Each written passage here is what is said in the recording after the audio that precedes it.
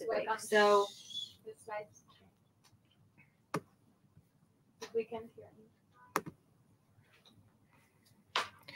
Hello, everyone. Hello, Good- everyone. Good evening. Good morning. We are very excited to have you join us for today's event. My name is Erwin, and I'm part of the team who's been running this program over the last few months. Today, we have hundreds of people from all over the world investors, partners, social impact actors. Welcome, everyone, and thank you for taking the time, whether it's late evening or early morning for you. Last year, when we announced that Google was launching a new accelerator focusing on the Sustainable Development Goals, we had no idea about what was going to happen in 2020. When the pandemic started to become evident, we had to make a decision on what to do next. And for us, it was never a question of whether we would keep doing it or not. The crisis that we're experiencing highlights more than ever the challenges that our world is facing. Climate change, healthcare, education, economic opportunity are at the forefront of today's headlines. And for the last six months, we worked hard with 11 amazing startups that are tackling these challenges heads on. And today, we're very excited to have these entrepreneurs tell you more about their work, their impact, and what the future holds for them. So, today, we have a very full agenda. We will start with opening remarks from Jason Titus, VP of Engineering. Then the startups will each present their products and have a few minutes to answer questions from the audience, from you. So you can write your questions in the chat window. Then we will have a short five minutes break. And after that, Agni, director of Google for Startups, will make some remarks before we continue with a reminder of startup presentations. But before we move on with the agenda, I'd like to thank all the people who made this journey possible. First, all my amazing colleagues that have worked really hard behind the scenes to make this accelerator possible in a very challenging environment. Shiri, Hanako, Moore, Lillian, Jen, and Jeremy. Joining meetings at 6 a.m. from California with kids running around has been the day-to-day life of our program. And without the commitment and expertise of each and every one, we would not be here today. But this accelerator would not have been possible without the help of many more Google employees who volunteered and offered their time to support the startups on a weekly basis. From program managing to technical experts, funding advisors, or partnership mentors, they all showed up during challenging times. And there are hundreds more volunteers from within and outside Google who happily provided feedback, guidance, opened up their networks, and made intros to various companies and NGOs in order to accelerate the startup's growth. Thanks to all of you. And of course, our leadership, Jason, Thorsten, Yossi, and Agni for sponsoring this program. So thank you again, everyone. And with that, I will now hand it over to Jason. Jason, please take it away. All right. So it is uh, it is really wonderful to get to congratulate everybody for finishing this uh, the accelerator. This is something that the team and myself have been uh, really excited to get going, and obviously in a time when we have uh, a world that is changing in so many different ways.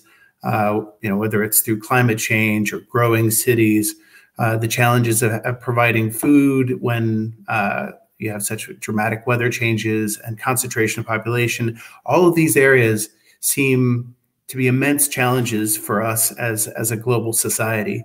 And the idea for Google to actually be able to help people use technology to go in and uh, really tackle the problems that they see uh, excites us. And hopefully you've, uh, you've seen that through the mentorship and engagement that our teams have had. Uh, so I want to I want to congratulate everyone for having finished this program uh, and and the you know when we see the the kinds of solutions people are putting together, it's been exciting. Certainly for myself, uh, I live in in the Bay Area, in San Francisco Bay Area, in California, and three weeks ago we had more than a thousand lightning strikes over one night, which doesn't normally happen. Uh, we California does not normally get uh, has not historically gotten uh, big thunderstorms.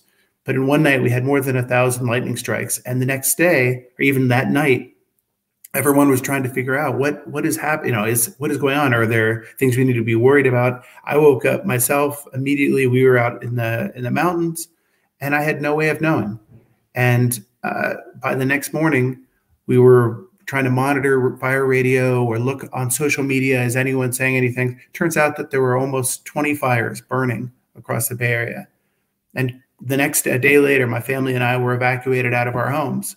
Uh, and you know, many people ended up losing losing their homes and uh, being you know their their the places that they knew, the animals they had, all of this uh, was impacted. And certainly as as a a technologist, I could see the all of the areas where there were things not happening. People couldn't communicate. Their amount of data they, about what was going on was wasn't there. We saw, you know, fire departments race to go start stop a fire in one place, only to discover that it actually was on a, another ridge far away. So it made me wish that the solutions that companies like Aurora are working on were already in place.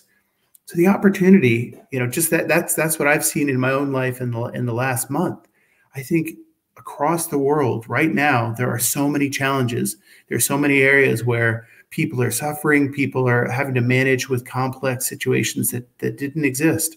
Whether it's uh, the work that uh, Flare is doing uh, or or Oko, uh, th- there are, you know, you have situations where uh, a small amount of applying uh, machine learning and understanding of the problem actually can can enable whether it's through finance or whether it's through actually just creating infrastructure uh, you know where where in major cities where people are where the, the population is growing so rapidly having people who understand that problem and can go in and bring tools uh, like you know whether it's you take leveraging the the millions of, of mobile devices that are internet connected in those areas and machine learning and data processing uh, all of these things are capabilities that didn't exist coming to solve problems that are uh, that are facing us and so that's why uh, all of us at Google have been so excited to figure out how our platforms can be used and how we can uh, engage with training uh, and mentorship and, and connecting folks with networks to actually help the people who are working on those problems, like these 11 startups, and actually get uh, get solutions in market and start scaling them up to a way where they can have uh, broad impact. So I want to congratulate everyone for for completing this program and knowing that this is not the end, we are going to have uh, folks working to help you be successful going forward. Uh, and we will continue to work the community around uh, using our technology to leverage and improve uh, the work of, of folks like yourselves. So thank you very much. And with that, I'll hand it off so we can start to hear what everyone's up to. Thank you, Jason, and thanks again for supporting this program. All right, now is the time we've all been waiting for. It's time to learn about our amazing startups. So each of our 11 startups will present their company, and then you will have an opportunity to ask them questions. So you can post your questions in the chat window, and we'll try to get to it. Each startup will have about three minutes of Q&A, so we apologize in advance if we can't get to your question, but the startups will happily follow up after the events. So across our 11 startups, you will see today that their impact spans most of the 17 Sustainable Development Goals. And we are grouping the presentations across four different thematics. We will start with education and healthcare, then environment, followed by climate, and finally we'll have economic opportunity. For our first theme, education and healthcare, we have three startups, WonderTree, MDoc, and Flare, focusing on SDGs 3, 4, 5, 9, and 10. So without further ado, let's start with our first uh, startup, WonderTree. Hi, my name is Waqas and I'm the CEO and co-founder of WonderTree. And I'm really excited to be here and tell you more about WonderTree. So at WonderTree, we develop augmented reality-based games for the therapy and education of children with special needs or children with disabilities. Our aim is to make special education and therapy cheaper and accessible for every child in the world. But before I tell you more about WonderTree, allow me to tell you a little about how WonderTree actually started. So it started with Usman and his brother. So Usman is the CTO and co-founder of WonderTree, and Usman has an older brother with special needs. His name is Hamza. One day Usman walked into the room and saw Hamza playing his Xbox, and Usman noticed how motivated and engaged Hamza was while playing his Xbox. And that's when it hit Usman that why can't I use the power of gamification to develop Hamza and educate him and uh, bring more out of him. And that's how Wonder Tree started. Now, Wonder Tree is focused on solving a challenge in Pakistan when it comes to children with special needs. And the challenge is that there is limited infrastructure in Pakistan. There are only 550 institutions for more than a million children in Pakistan. And there is a limited resources challenge as well. There is only one psychologist or therapist for 250,000 Pakistanis. So, how do you bridge the gap, the infrastructural gap, and the resources, human resource gap by technology? And this is what we did. We have developed augmented reality based games by gamifying cognitive and therapeutic exercises. And then we also have developed reports which tell the progress of the child. So as soon as the child is done playing a game, you can measure the report of the child. And this makes our solution affordable, accessible, and effective. It is affordable because average therapy cost in Pakistan is anywhere from $30 to, to, to $284, averaging around four therapy sessions a month. Whereas with WonderTree, you only pay $3.5 a month. Our solution is accessible because all you need to play WonderTree games is a laptop or a PC, a webcam, and a stable internet connection. And it is efficient because gamification accelerates development it is a greater motivational and engagement tool for the child. And the child's progress is being systematically recorded. So you know how well the child is improving. We have competitors all around the world. These are our some of our competitors, with the main one being MindMaze, who, uh, who were valued at over a billion dollars in 2016. So we have already already received the market validation from them that there is a huge scope and a huge market when it comes to technologies such as these. But how are we different from our competitors? It is mainly because we rely on human pose estimation uh, uh, for our games. Uh, we are using AI for that. And this makes us cut down on the hardware costs uh, that all our competitors use. So this makes us cheaper. And this translates into the marketing terms that we can tap into the untapped market of B2C customers, which, which are the parents. And we can significantly lower our prices because of the lack of hardware which is needed. But most importantly, we're different because of our passionate and amazing and multi-talented team, which is a mixture of psychologists, therapists, game designers, designers, uh, AI experts, uh, and this uh, this makes us the most different. So, talking about the industry size, we are an at an overlap of different industries, mainly the physiotherapy industry, the serious games industry, and the disabled assistive technology industry. On average, our industry size comes out to be $17.6 billion, and this industry is growing year on year. The present and the future. Our revenue model is simple. We charge uh, per month per child subscription. Our target audiences include in B2C, schools, hospitals, uh, clinics, and therapy centers. And in B2C, it includes parents of children with special needs. Right now, we have 6,000 users, and by December 2021, we hope to achieve 18,000 users. Right now, we're in only one country, which is Pakistan, but by the end of next year, we hope to achieve four different countries. We hope to be operating in four different countries. We're already talking to Qatar, UK, Canada, and South Africa. These have these markets have shown very promising interest. Uh, right now, by the year end, our revenue is going to be $251,000. And by the next year end, our revenue is going to be $705,000. And here's the big ask. We're looking to raise a million dollars, and the amount is going to be used for further development of Wonder Tree games, for R&D, for clinical trials, FDA approvals, for launching our new vertical, early childhood development vertical. This is something really exciting. We already have buyers lined up for our product. We need to develop it, and we want to expand globally through this investment.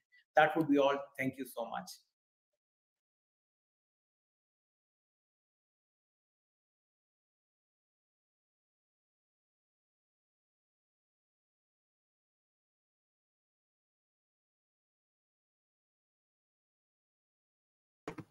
Sorry, I was muted.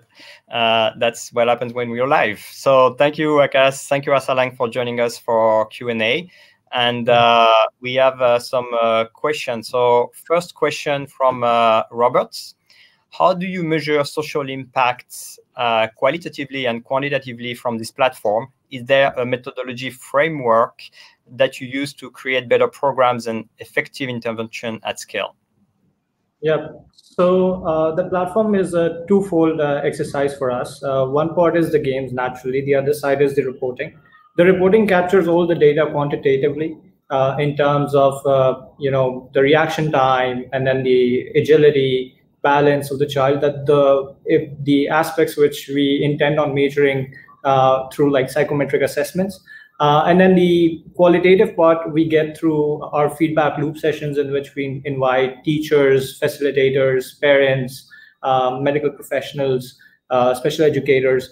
These people come together and they give us feedback on how to improve games, how to create like better exercises, if, if there are any interventions which require uh, cer- certain, you know, modifications through it, which we can achieve through gaming. So these are the two um, things that we use uh, and to uh, you know like for effective intervention at scale that uh, that we are working on with different research universities. We have partnered up with uh, major universities in pakistan to uh, evaluate our impact on the children of specific learning and motor difficulties. Great uh, another question uh, related to the current situation. How did you cope with uh, COVID given that uh, businesses had to shut down during the pandemic? Yeah, that was a really tricky situation for us uh, initially. Uh, we started working on our B2C platform in which initially we were doing depth sensing through the Xbox Kinect. but then we had to scrap it off and we started doing uh, some you know modifications to the AI camera that you have. Uh, so uh, the RGB camera that you have uh, available on every laptop. So now we do depth sensing through that, and that helped us bring down the capital uh, cost of the product and helped us scale to different markets. plus the parents as well. We started doing it directly through our database of institutions and parents. Excellent. And one last question. As you're looking to expand in other markets and, and looking at the North American market in particular, uh, mm-hmm. what are your expansion strategies? Um, right now, what we've started doing is we've taken up um, a number um, and we're registering ourselves in uh, through Stripe um, so that we have like a presence there. Uh, and we are talking to different distributors who could, uh, you know, help us distribute the product to different B2B organizations.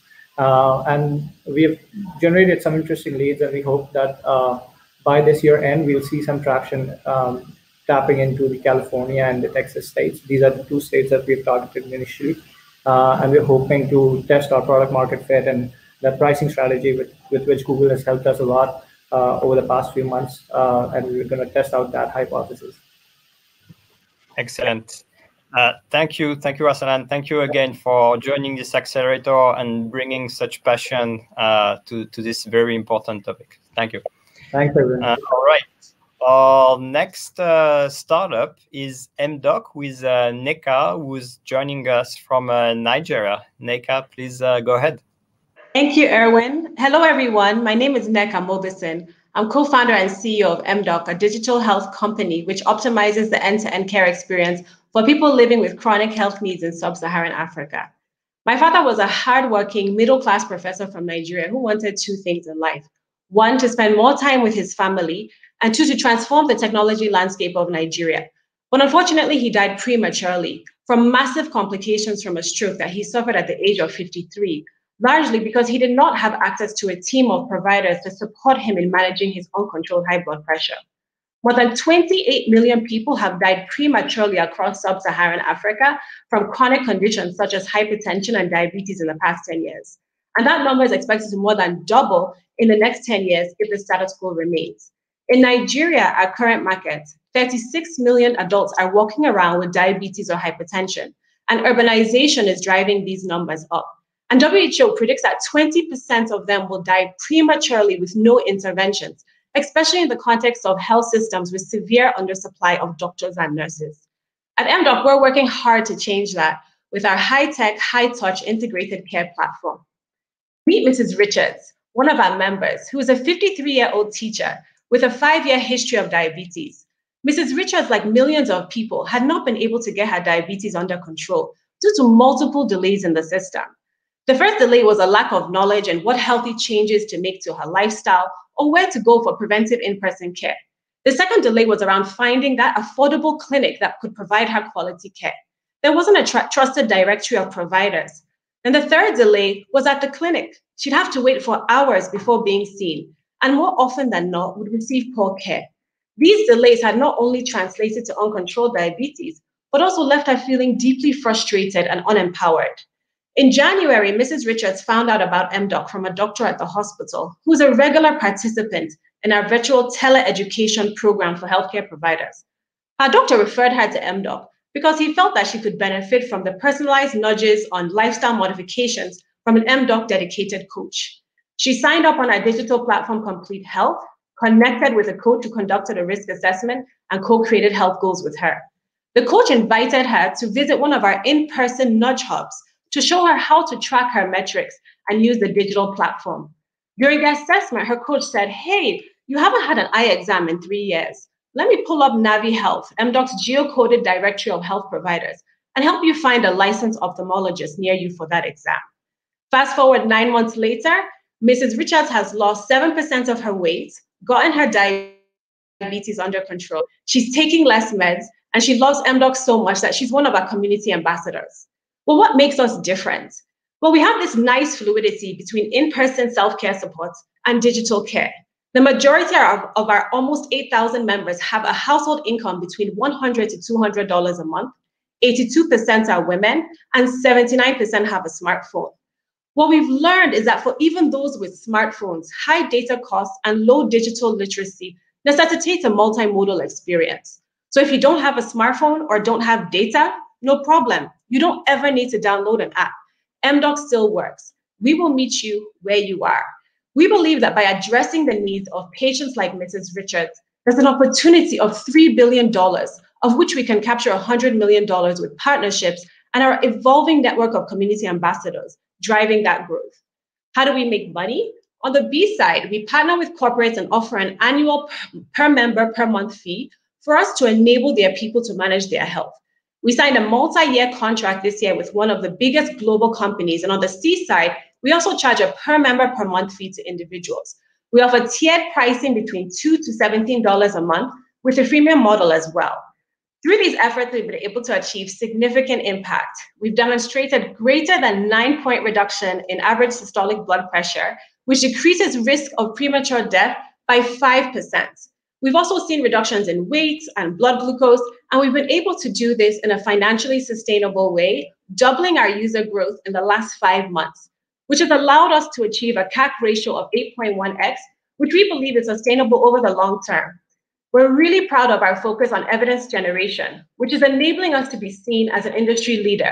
And we have been presenting on the clinical efficacy of our work in global scientific conferences. In fact, just two weeks ago, we presented our work at the World Obesity Conference. It's this focus on being commercially driven and evidence generating, which allows us to get significant inbound traffic and build our brand so much so that it has recently allowed us to enter into discussions with a major global company on expanding into two other African countries. In terms of our team, I'm an engineer turned pediatrician, and my co founder has a background in engineering and finance.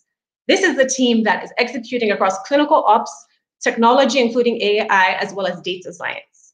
We're raising a million dollars with $100,000 in committed capital to provide us 18 months of runway and help us integrate USSD as well as offline capability into the platform, as well as rapidly expand our partnerships and community ambassador network.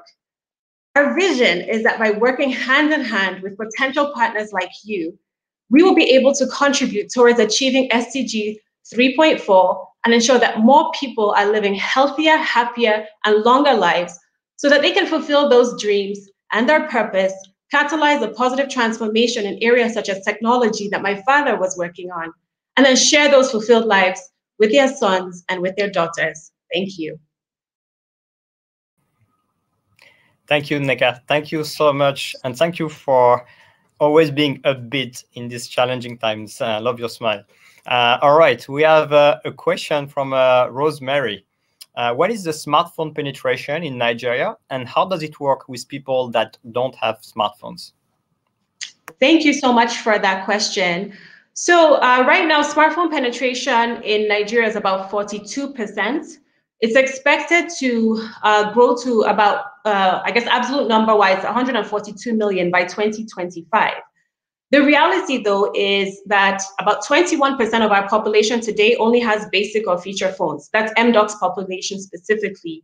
And also, even those with smartphones, many of our members are actually not comfortable uh, using their phones for for uh, you know uh, with with kind of a with, from a smartphone perspective.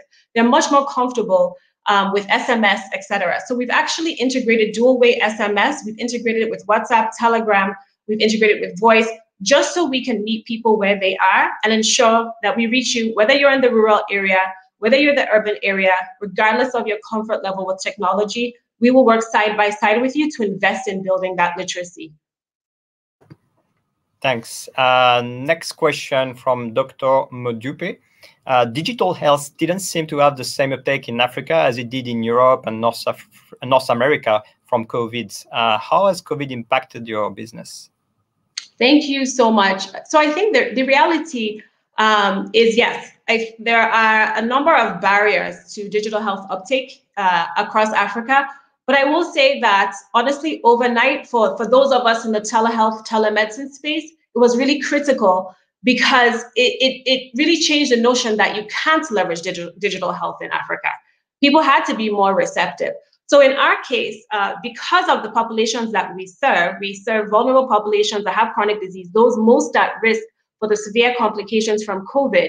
We actually literally had to, to expand the breadth and depth of our services overnight. And, and actually, in the last five months, almost six months, we'll have seen almost triple our user growth um, during these times of COVID. So for us, it's actually been you know quite positive. But because we developed this integrated care platform from the get-go, we were serving these same populations, and we were really able to meet them where they were in this in this pandemic. And we think there's a huge opportunity ahead for us. Thank you, Nneka.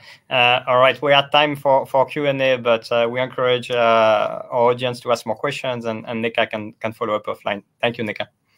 Uh, okay, our next uh, speaker is Maria from uh, Flare. Maria, please go ahead.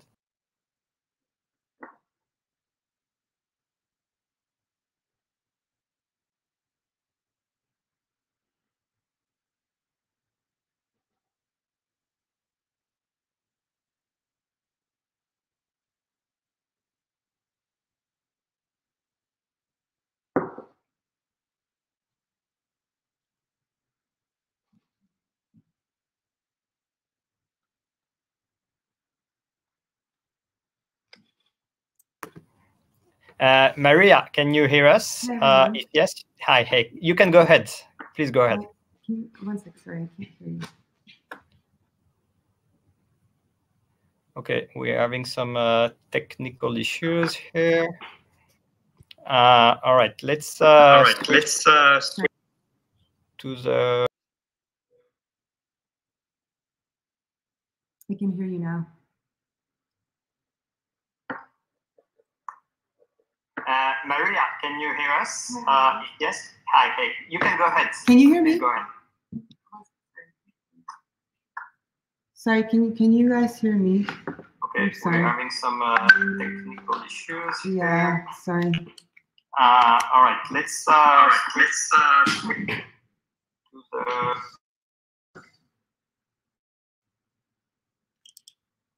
I can hear you now.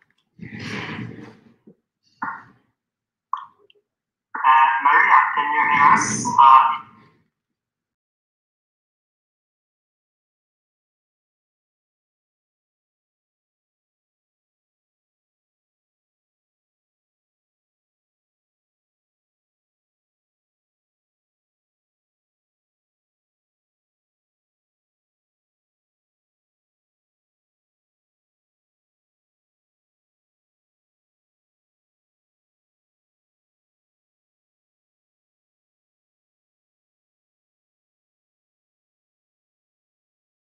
Hi, I'm Mathieu Carlier.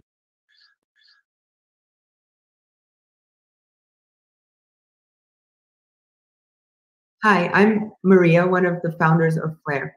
Flare is an emergency response platform. And I want to start today with a story about a boy named Dominique.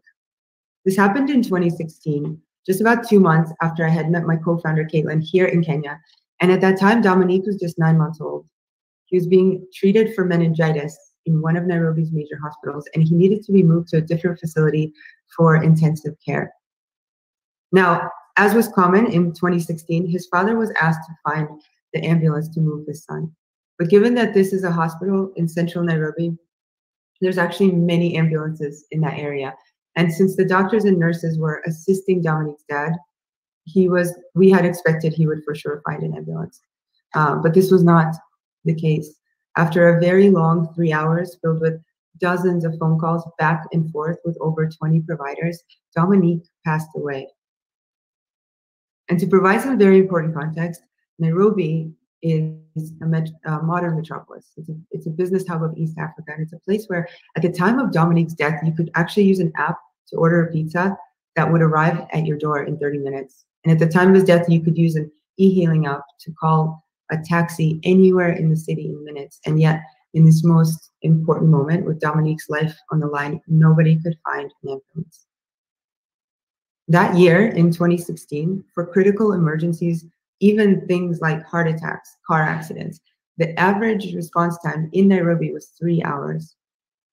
And if you think this sounds strange or crazy, consider that nearly two thirds of the world, 57% of the world's countries, have no meaningful 911 systems at all. And the countries that do, they still have issues of fragmented fleets, slow response times. The point is, stories like Dominique's happen every single day by the thousands. One obvious part of the problem to us at that time was that traditional 911 systems cost billions of dollars annually, and they're built on very expensive, outdated infrastructure. So, being tech and healthcare specialists, Caitlin and I decided to use the cloud to put providers onto a single platform, but to build a platform that is cost effective so that it's actually affordable and feasible at this global scale. And in 2017, we launched this version zero of the Flare platform that you see here, um, and the version zero of the Flare Dispatch Center. And three elements of this solution that we wanted the market to validate at that point happened actually very quickly. Number one was that our very first call for help, we used Flare to respond in just 15 minutes. That was a 92% reduction in response times. Number two, the uh, in order to fund this dispatch center, we created an insurance-like membership product. Members get access to the dispatch center and they're covered for emergencies. And this validated our revenue model because this membership sold very quickly. Within two to six months, large corporates like Uber, Bolt, security companies had purchased the membership for all of their teams, their drivers, their guards, and we quickly had about 25,000 members throughout Nairobi. This meant that daily rescues started to come into the dispatch center. And, and the third thing, uh, and the final thing that we wanted to validate was that within months, emergency responders from all over Kenya uh, started to actually contact us to join the Flare platform.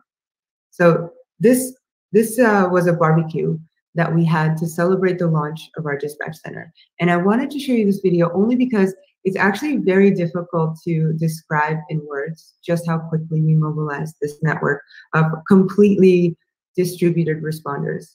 Seeing so many of them in one physical space for the first time was a really rewarding moment for our team. And it was also a very important moment for, for the various emergency responders because um, people were very genuinely excited to meet each other.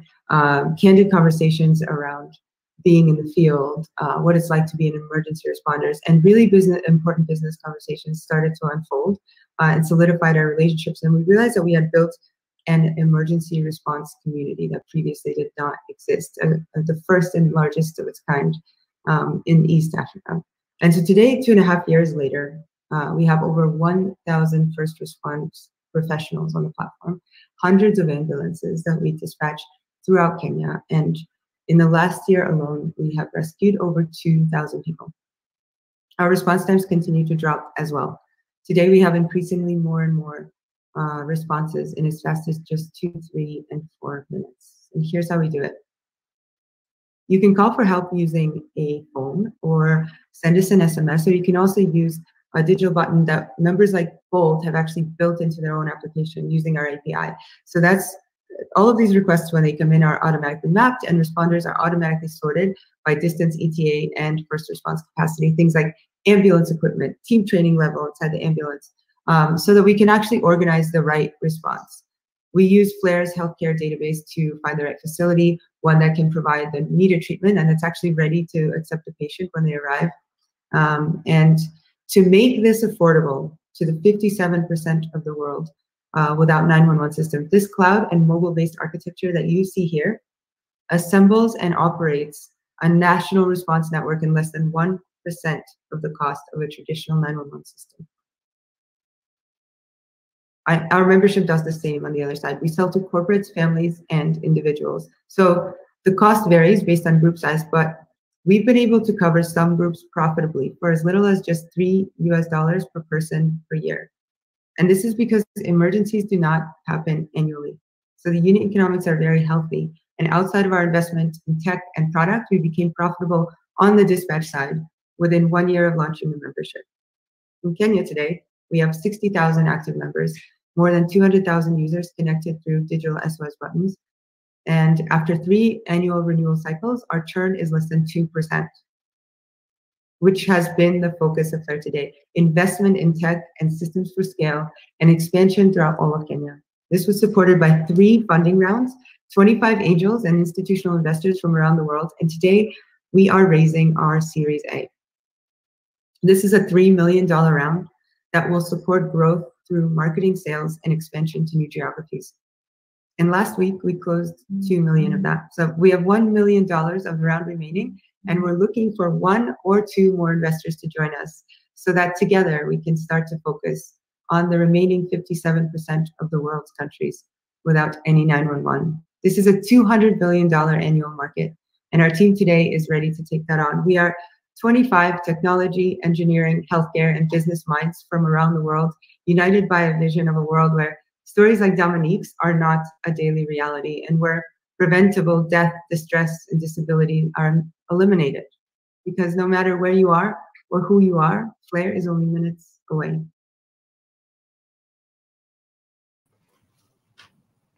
Thank you, Maria. And uh, hi, Caitlin. Uh, thanks for joining us for the Q&A. All right, uh, we have a first question. Uh, isn't this usually a public service? Um, Caitlin, do you want to take that? Oh, sure. So that's a great question. Actually, in every single country where 911 or 999 exists, even in you know um, publicly run healthcare systems, it's always a public and private partnership and we do just the same. And so while we're delivering a, a public good and service, we do that through smart technology and enable that to happen. Great.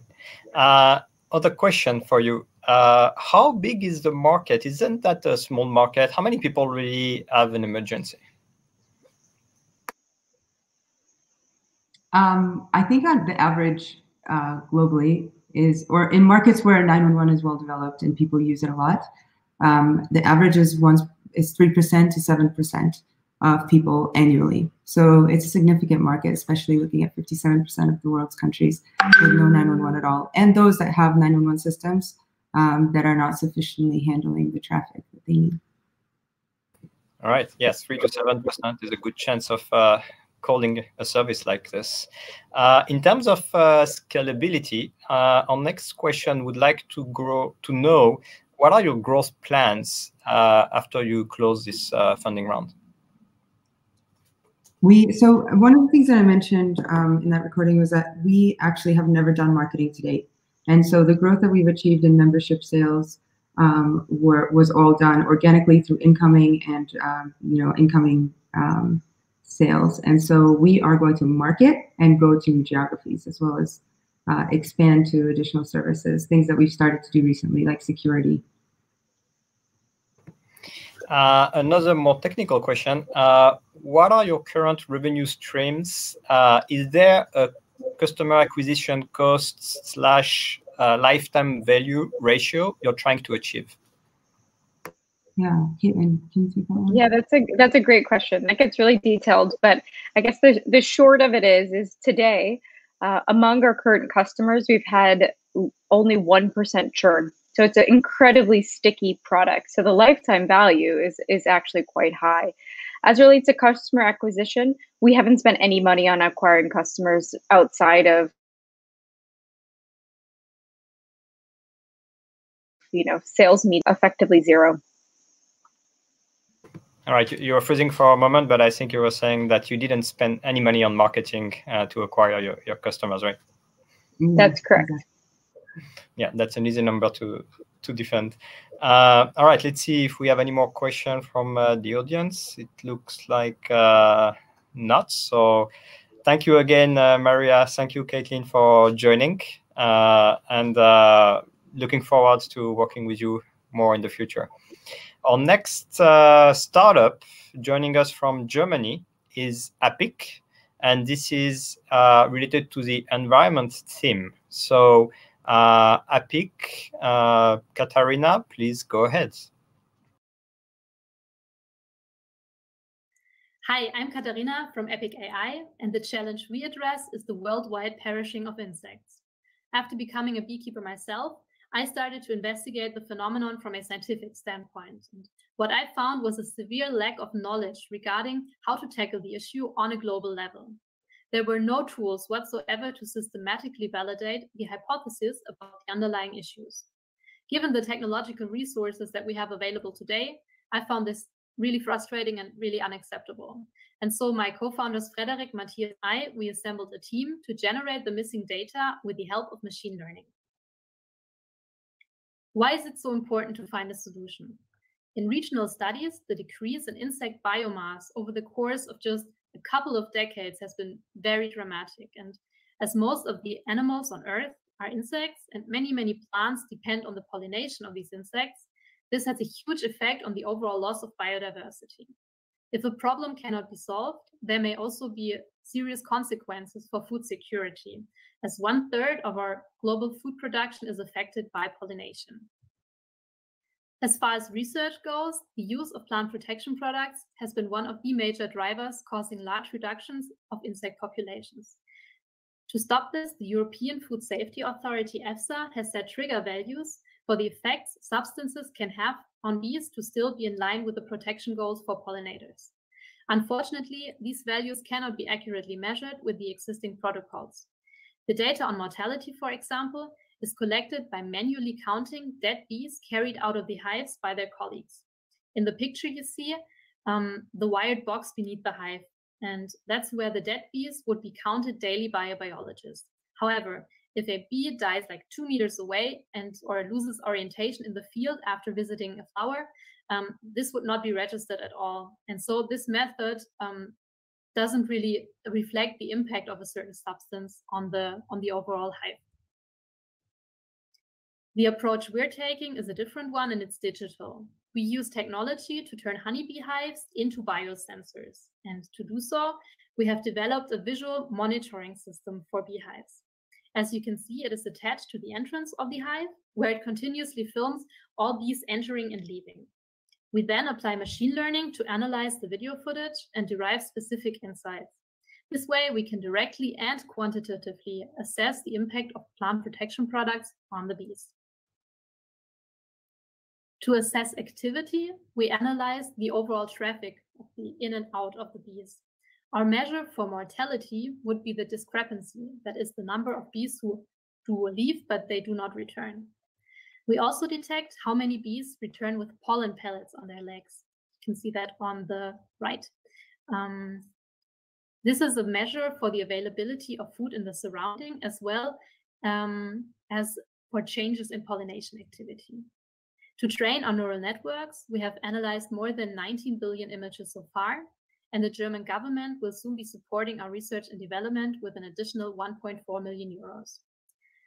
In the future, we may also be looking for additional funding to scale the application of our product and service.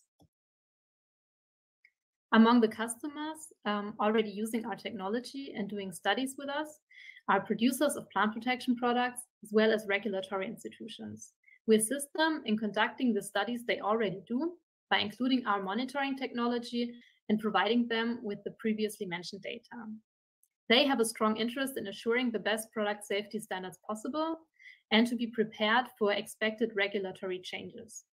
EFSA is currently working on revising its guidance documents on pesticide risk assessment with stricter regulations on trigger values as well as testing protocols expected by next year. And our customers consider working with our technology their best way to be able to prepare for the upcoming changes. This is what you can imagine the results of a analysis of us to look like. In this case, we assess the effects of a neonicotinoid on activity and foraging behavior over the course of several months. And what we observed um, was a strong negative effect in the short term, but no long term effects for this case. Regarding the market, we feel there is a lot of potential for impact as well as business. Vast amounts of plant protection products are applied every year all around the globe. And with a growing population demanding food, the need for crop protection will most likely continue to increase.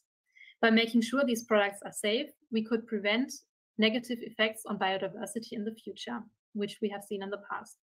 With the public pressure increasing, the plant protection industry is apparently willing to go the extra mile on testing. That is our impression from the demand we get.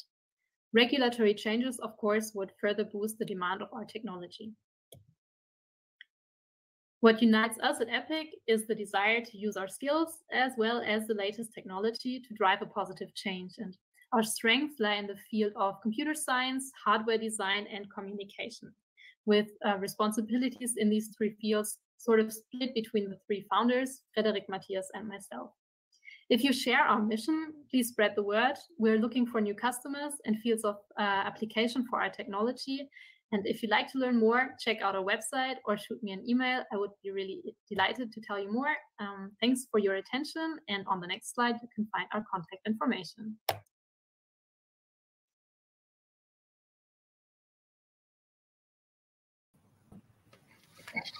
Thank you, Katharina. Thank you so much. Uh, when we uh, started this accelerator, diversity was a, a big uh, goal of us, but uh, bringing bees to the accelerator is definitely something we, we did not expect, and uh, this is great. All right, so let's see uh, questions we have for you. Um, which are your most valuable partners with regards to market entry? Okay, so I think what's been helping us a lot is that we've been working with the uh, mark, world market leader in the field of ecotoxicology, that is like the science of how certain products um, impact the environment. And the market leader has been approaching us in the beginning and telling us like, couldn't your technology have a great impact in our industry? And they have been working with, with us ever since. We did our first projects together and we've published on scientific conferences the results of them. And they were also like a lot of giving us a lot of contacts into the uh, into the industry. There's not that many people active in the field, so it's like 300s, and people know each other. There's a lot of trust, and by having somebody to speak for you, that's very valuable. And they also brought us our first paying customers with the first uh, study with a real new product and I think that's been very valuable. Also, we've been working with uh, Bayer, who's a major producer of plant protection products, and I think that's also very helpful. The last one, as we are going on um, regulatory changes, is the Julius Kühn Institute in Germany, who is the main regulatory institution when it comes to testing of plant protection products. And they want to check out how our technology can benefit them. And we're also doing studies with them. So I feel that they are like a multiplicator for, um, for what we are doing and for scaling into the market. Great. Uh, talking about regulatory environments, uh, do you see the regulatory environments being uh, more supportive uh, in Germany or in Europe in general? Well, the, the EFSA, the European Food Safety Authority, has demanded uh, changes in stricter regulations, and there's a working group who's actually actively working on this right now. The new guidance document on this will be um, will be published probably in March 2021 and there will be stricter there will be stricter measures, and they won't be able to implement uh, to to implement these measures without better testing, and that's why um, our technology will be a key driver in this, or it could be a key driver in this. Great. All right, and one last question, uh, which I uh, really like. Uh, what were your key learnings during uh, this accelerator program? Um, I think it was also in the in the beginning it was very much focused on our team because we've been growing a lot lately. So we we came from like seven people to twelve people, which is like a big difference when it comes to the structures you need as a company. And um, I think we've got gotten pretty far with this, with like just implementing new structures for documentation for how we can meet effectively and still be productive, even though there's more people now. And what else is there? I think the other other thing that helps us a lot was uh, to focus on what we actually want to do and want to achieve. So there are a lot of different areas where the technology could be applied to and different markets. Uh, but we figured out that the ecotoxical market has the biggest lever for us to change something and has the biggest impact. And the program helped us a lot to just uh, focus on it and remove other distractions um, and to move forward. Yeah, I think the same applies to our hardware and software strategy because by focusing on a certain area, we will we were definitely more able to plan better for the future with uh, how we will progress with our hardware and software development. I think those were the three main areas we we got to learn something. Of course, there were more. Excellent. All right. Thank you. Thank you so much, Katharina. Thank you so much for for joining us. Um, our next uh, startup, Ellipsis, uh, unfortunately could not join us. Uh, so we're going to take a, a five minute break now. And uh, my colleague Jeremy is going to welcome you back. Uh, so please take this moment to stretch, have a drink, uh, watch your favorite YouTube video, and then we'll be back in five minutes. Thank you.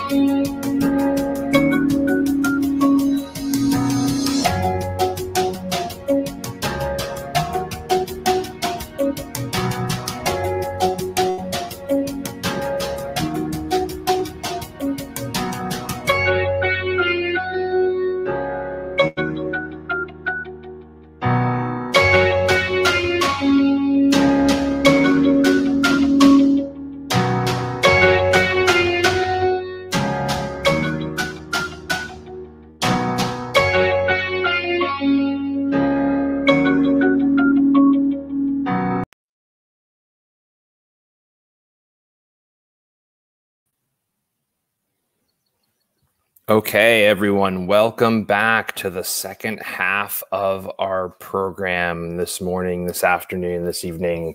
Uh, very uh, great work by uh, our group of startups in the first half. Thank you all so much, and thank you for the audience participation and for for the questions. We really appreciate it. Um, to to kick off the second half, um, we we heard from from one of our executive sponsors, uh, Jason, at the beginning, and now I'm delighted uh, that we get to hear from uh, our second executive sponsor, um, Agni, who is the direct global director for Google for Startups, um, who would like to say a few words of congratulations to the startups. So, Agni, take it away, and thank you for joining us. Thank you so much, uh, Jeremy, and uh, hello all. It's such a pleasure to be here. I'm really thrilled and as Jeremy said, I really wanted to congratulate to all of you. And honestly, I can't believe it's been already five months. I remember the beginning of the program, and at um, at the moment, I, I feel um, really uh, reflecting uh, on you know like what has happened and whether we we were helpful to you. And I wanted to talk a little bit about it. But let me start from saying you are all very special. You're very special because of few reasons. The first one is that you are really tackling very important challenges, important for all of us as humans, as a global society. Jensen mentioned that as well. You are very special because we realized during the application process how for social startups it is actually harder than even for the regular startups because with less resources you're uh, achieving more impact and you're working so hard. And last but not least, you are so special to us because uh, last December, when we were calling for startups for this accelerator, we just realized that we have 1,200 applications from all around the SDGs, and you are special because so. Congratulations, and also thank you for for your trust, your trust uh, to Google that we can help you develop. Uh, I just wanted to also reflect on what we were doing uh, for you and with you during during this time. So we were trying to, of course, provide different trainings around the SDGs, UX, tech, funding, and other areas.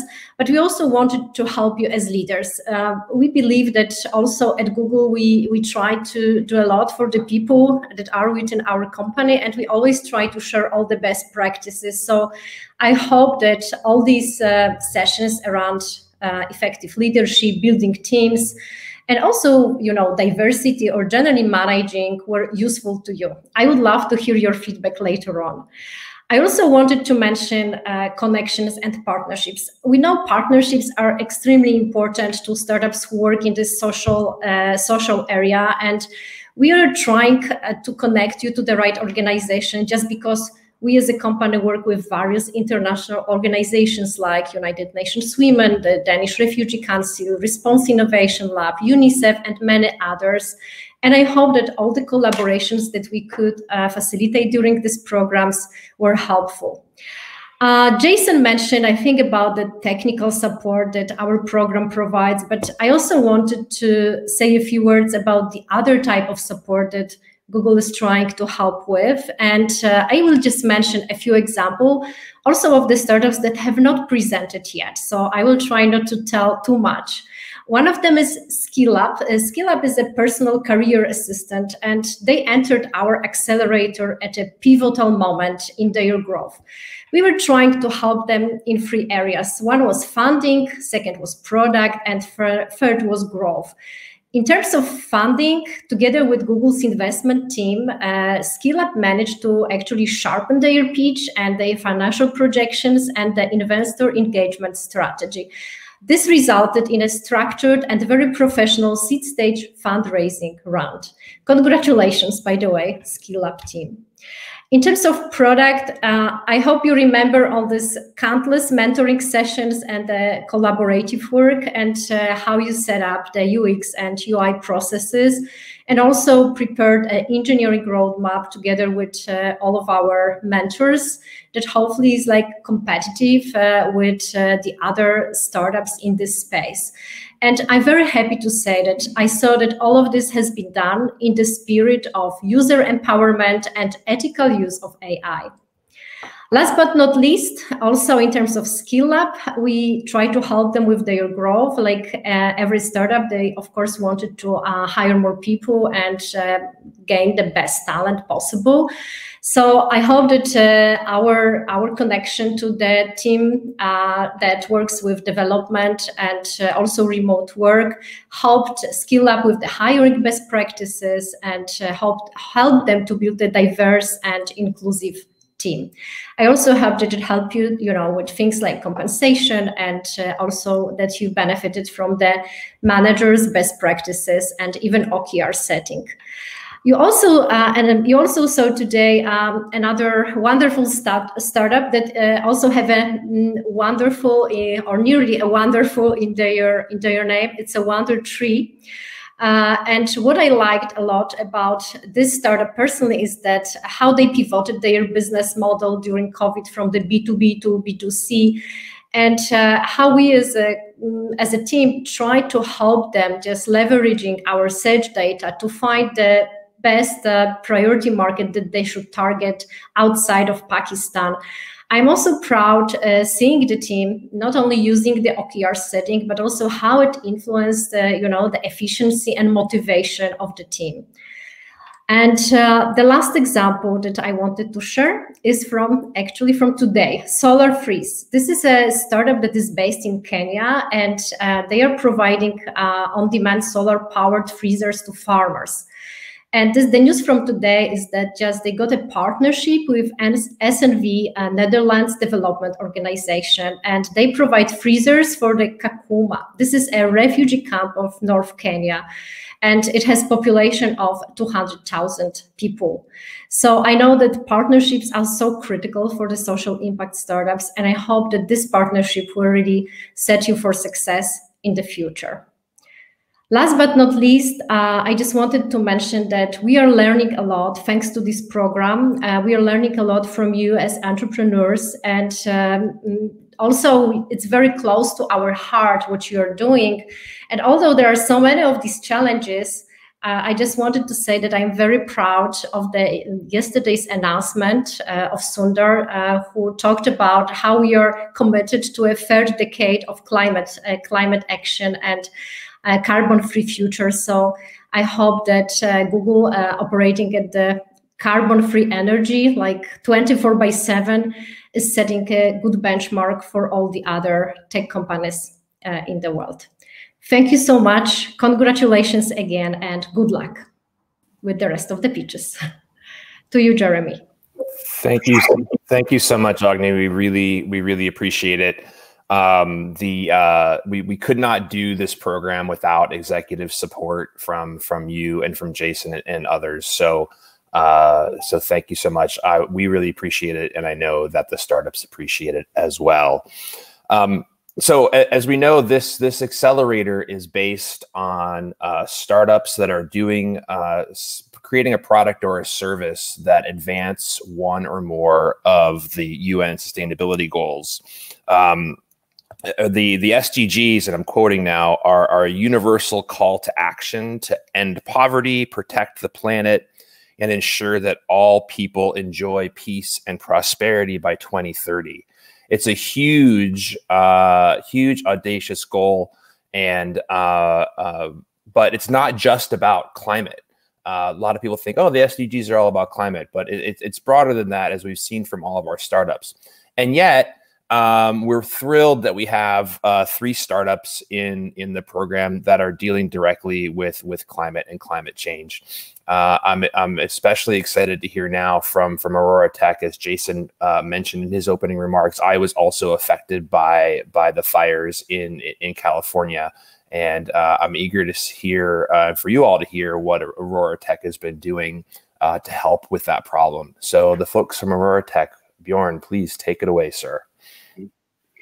Thank you very much, Jeremy. And yeah, good morning, good evening, or good night, ladies and gentlemen, depending on from where you're listening. Uh, I'm Björn Stoffers, co-founder of OroraTech, and we are a startup based in Munich, Germany, using the capabilities of new space to keep the Earth we live on sustainable. Um, last winter, Australia was on fire, and not just for a day or for a week, but for months. So the devastating results are uh, 186,000 square kilometers of burned area. That is almost half the area of California.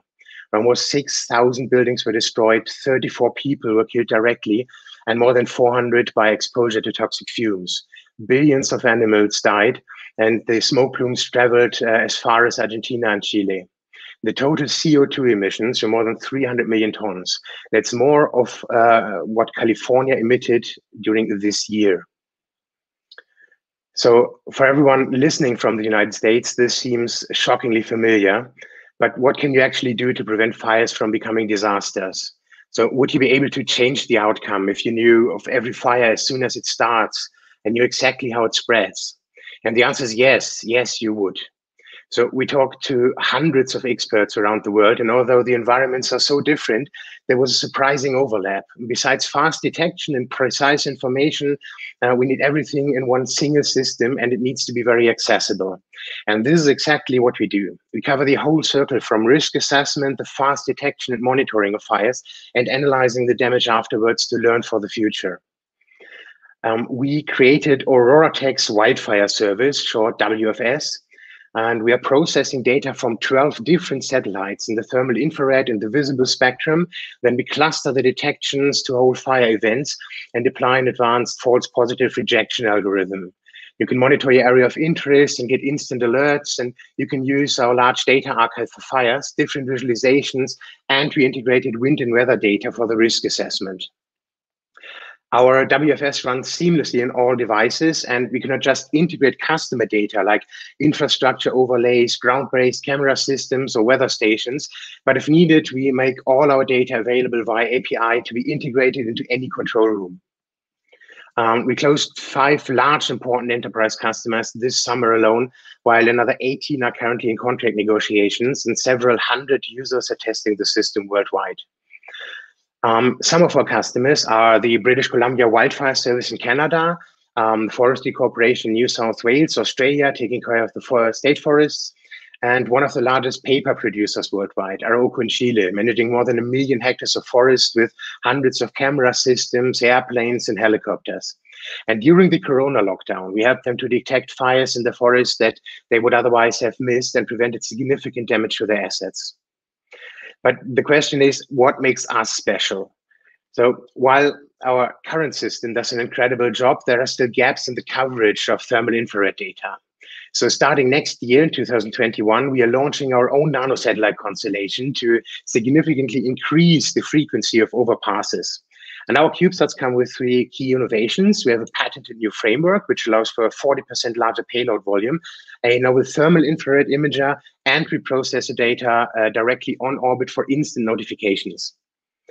Uh, we offer our service as uh, direct online subscriptions for small landowners and an advanced version for professional users with extended features, but mostly we're focusing on bringing the enterprise package to customers in wildfire services and the commercial forestry, as we have seen, um, insurance companies, electricity supplies, and other corporates who want to monitor their supply chain.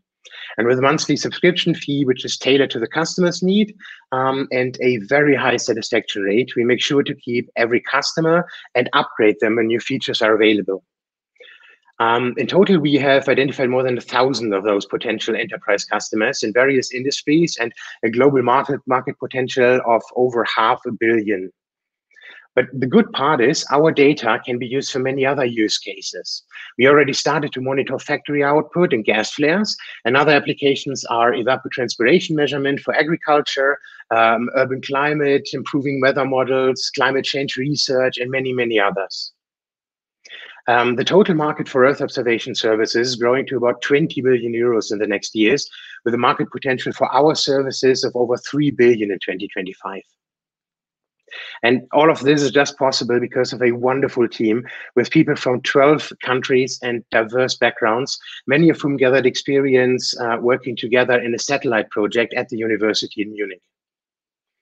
And we are now closing our Series A round with uh, 5 million euro to expand our sales activities and to look for uh, cooperation partners for our wildfire service. And I want to especially uh, take the opportunity to thank everyone at Google in the accelerator program who was involved. And um, yeah, it was just great. Thank you so much. And thanks everyone for your attention. Awesome. Thanks, Bjorn. We really appreciate it. A couple of questions um, coming in from the audience. Um, with the recent wildfires in California, are you getting additional attention? And if so, um, how is that changing or affecting your trajectory? Yeah, that's a good question. Uh, absolutely. Um, we are getting lots of uh, requests for the system um, from the United States, especially from California right now, um, and are very happy that we can uh, extend the market um, to the United States as well. Excellent. Thanks so much. I'm just checking for any other questions for you. Okay. Um, do you plan to offer a B2C model for people who live close to wildfires? Jason mentioned his, being affected by it and um, uh, would be interesting for, for, for, for individual consumers to be able to access your technology. So is that in the plan as well? Yeah, so we have been focusing on the enterprise customers uh, at the moment, uh, but we absolutely, uh, especially with the fires now in California, see the need uh, to provide the service for um, B2C as well. And uh, our vision or our dream would be to cooperate with Google and um, implement our data in the Google Maps for early warnings. Okay, excellent. And I think we have time for for one more. Uh, how do you protect your ground-based sensors to ensure power and connectivity? So, a nice technical question there. Yeah, so we don't have any ground-based uh, sensors, um, but we can integrate ground-based sensors that are already uh, set up, um, yeah, especially in the commercial forestry. We already did that. We have one partner, Firehawk, a company in, in South Africa, and um, we are pretty data agnostic, so we can integrate any uh, camera data that is available. Awesome. Thank you so much. Okay, um, we will free, really appreciate it, Bjorn. Uh, we're going to move on to our next startup. Um, and let's hear from Ever Impact. And I think we're getting. Hi, I'm Mathieu Carlier, the CEO of Everimpact, a carbon footprint software for cities and businesses.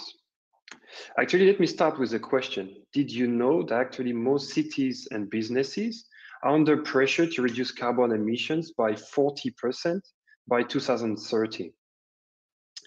Currently, uh, cities and businesses are relying on greenhouse gas inventories. These are two years old Excel uh, estimates based on self-reported data from different stakeholders. Uh, and as a result, uh, regulators and investors do not really trust the data sufficiently. That means that cities and businesses are missing out on $100,000 to $5 million per year in uh, funding for their projects. We have the solution. We have developed an IoT software platform to automatically make the carbon footprint of cities and businesses. And we provide them with automated measurements. We identify reductions and help them achieve reductions.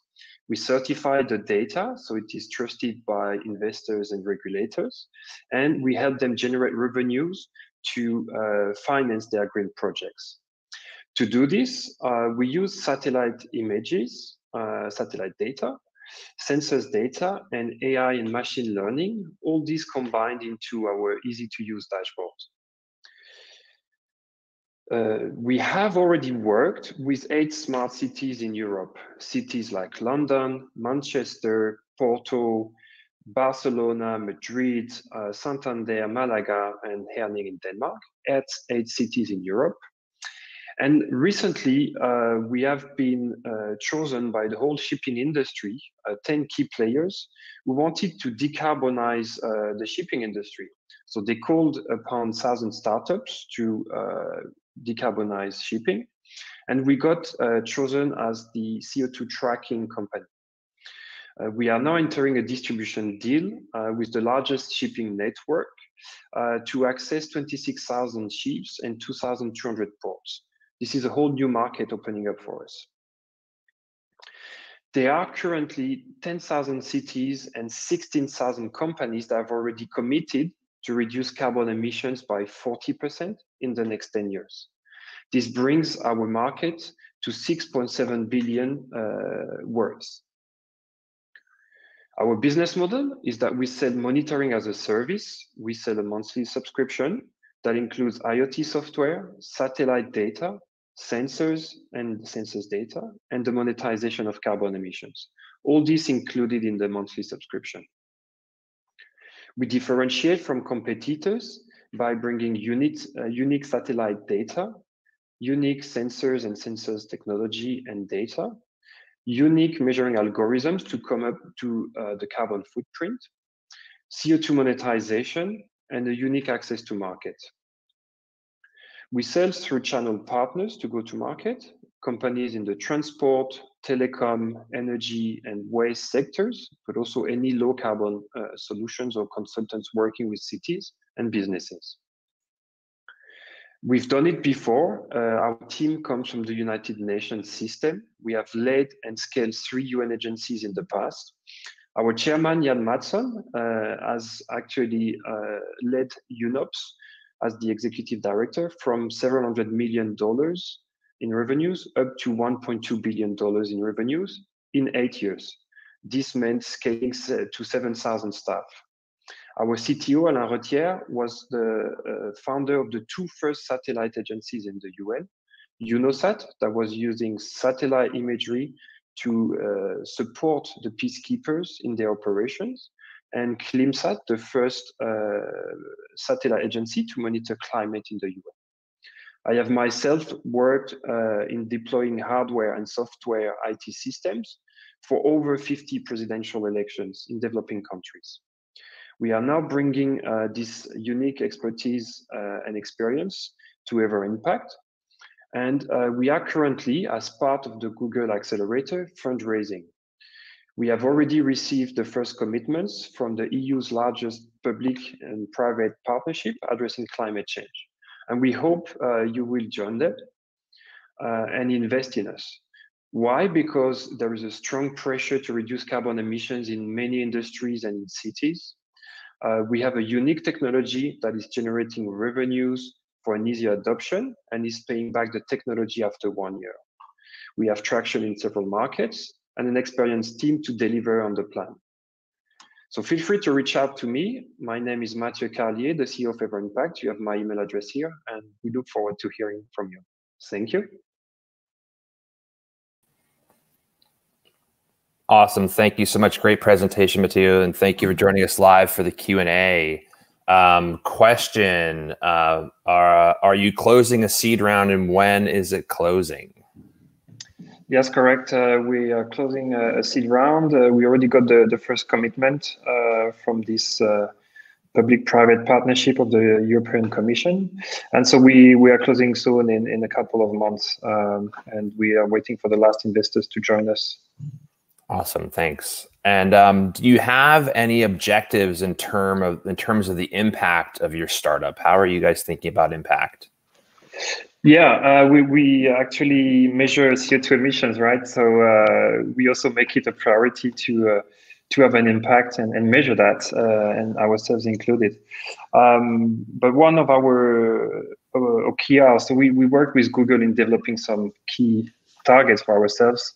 And one of them was the impact we have. And we set the goals to try to measure half a billion uh, CO2 tons in the next two years and try to help reduce uh, a quarter of a billion tons uh, in the next two years as well uh, through the, the partners we work with. So, um, so we definitely uh, take the CO2 matrix in uh, as, as one of the key results in, in our company as well. Awesome. Yeah. Quarter of a billion tons. That sounds very, very ambitious for sure. Um, and uh, yeah, one, one last question.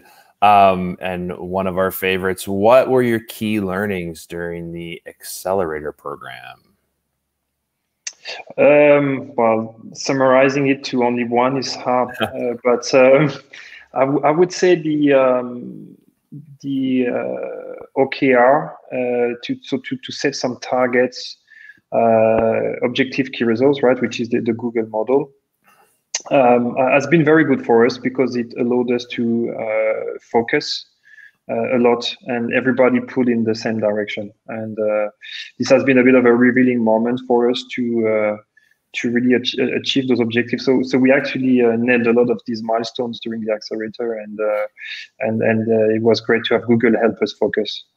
Awesome. And uh, Zach Ross, who is our OKR uh, guru, I know you're out there in the audience somewhere, Zach. So thank you for for helping uh, uh, Mateo and the rest of the startups with that. Um, one last question: um, How are you prioritizing growth versus profitability? Um, well, it, it is. We, we actually think the the two are going together. Uh, okay. So we we don't choose growth over profitability because we believe the economy of tomorrow uh, is going to be the one encompassing both the environmental goals and, and the profitability goals. So, uh, so, so that's why we're trying to have a, an approach where we link climate and the environment to also the bottom line of companies and, and try to change the new normal into included environment uh, in, in, those uh, factors. So, um, so you see a lot of companies and Google made an announcement yesterday uh, where uh, climate and carbon emission is becoming a key metric, and and we think that the profit and uh, and the impact go hand in hand nowadays, and uh, it's going to be the new normal. And and we've been thinking about this for years, and we awesome. we were firm believers from the beginning. Awesome. That term "new normal" is something we're all talking a lot about lately. So uh, uh, best of luck as you as you work to shape that that new normal. We really appreciate your your presentation. Okay, um, next up uh, we have uh, Cervest and Iggy from Cervest. Take it away, sir. Hey, Jeremy, how are you? Um, my name is my name is Iggy Bassi. Hello, everybody. I'll be joined today by my Chief Business Officer Mark um, Hodgson, and we'll tell you our story at Cervest. So before I start, I'd just like to extend our thank you and gratitude to the team at Google for their great um, SDG program. We found it valuable and very, very practical. Most, most accelerated um, programs are not practical. Stepping back, the, the um, story of Cervest really started 10 years ago when I started and I built a farm in West Africa. It was an agribusiness. And it was my first-hand experience of climate volatility and ex extreme weather events. I knew at the time that we needed new tools. It was very clear to me that the old tools of yesterday were not working to measure climate risk. So I started research into artificial intelligence and climate decisions. And in 2016, I set up a company called um, Cervest, and it was really to bridge the gap between climate awareness and making better decisions. And our mission was to empower everyone to, to make informed climate decisions through our Earth Science AI platform. I think whether it's a farm in Ghana, whether it's a nuclear plant in Japan or forest in um, California, it's very clear that rising climate volatility is really negatively impacting our physical assets and our natural assets, built and natural environments. And it's really having impacts across economies, um, societies, everything from supply chain disruption, financial losses, insurance, and everything through to migration patterns, food security, all the way through, in very extreme cases, conflict. And I think um, today more than ever, we're seeing this accelerated urgency across businesses, enterprise, particularly after COVID, to really understand, quantify, and adapt to climate risk. But there's a challenge, and the challenge is most organizations really struggle to quantify the magnitude, the timing, the impact of climate risk, particularly at an asset level, assets that matter to people. Or putting it differently, um, um, companies find it very difficult to personalize climate to, to actually make it truly decision useful. Now, there are three key barriers to this. One, it is scientifically very difficult to quantify climate risk. Secondly, it's very difficult to integrate most of the world's sciences at an asset level. Most of them are not designed for asset level. Um, and the third area, there, there, are just no standards. Uh, the world hasn't developed any universal standards to measure and monitor climate risk. So our solution um, is to personalize climate risk with streaming asset level intelligence so that anybody in the world, um, anywhere, uh, whether any location, any time frame, any scenario, they can understand and measure asset level climate risk. Now, our fundamental proposition is that everybody deserves climate security. We have reached a situation where um, the world is just becoming riskier and riskier every year. We have developed an open access platform that aggregates millions of different physical assets and we automate the climate science at a per asset level. So users can really get in, um, personalized intelligence. And there are three ways that this really, really works. A user can identify their assets um, on the platform, and we have close to a billion assets by quarter one next year. We have about half a billion now. They can track and share that asset and real-time intelligence over that asset. And then thirdly, and most importantly, they can integrate that intelligence of what's happening to their asset into their everyday decisions, whether they're operational decisions or their financial decisions um, or their strategic decisions, such as mergers and acquisitions, disclosing um, um, growth, um, locational planning um, in terms of where do we go next. And this is serviced up through an API or through a UI that we built. And our first product, EarthScan, fuses all these capabilities together, and we are currently testing that in the marketplace now with some early adopters.